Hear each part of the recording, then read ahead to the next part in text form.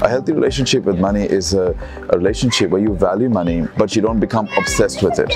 You understand that money is a tool that will allow you more options in life, but more importantly, it gives you the capability to make the difference that you want. So we want people to have a healthy relationship with money and we want them to get rid of all the guilt and shame and this need to prove themselves through status.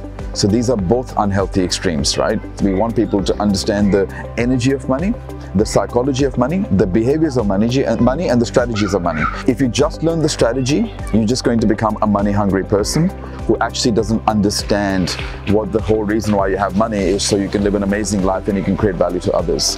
If you take a good person and you give them money, they'll become a great person.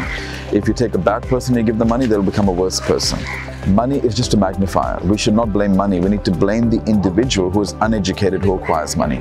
So let's get people educated and then let's give them the tools so they can have a lot of money so they can use the money for a positive change.